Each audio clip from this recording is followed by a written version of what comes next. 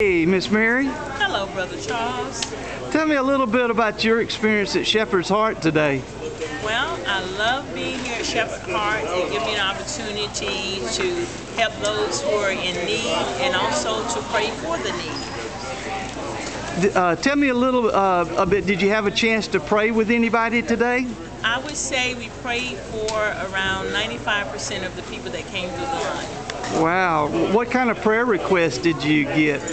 Um, some people they needed jobs. Uh, some had sickness in their bodies, and some also for families. What kind of reward is this for you uh, to be able to work here at Shepherd's Heart? Well, the reward for me is my reward is in heaven. The reason I do what I do because I do it unto Jesus. Jesus says, when you do it unto the least of these, my brethren, you have done it unto me. So when we do it as we're doing it unto Jesus, we will faint not. Okay. Is, is there anything that you'd like to tell um, every, anybody uh, about uh, Shepherd's Heart or about working here?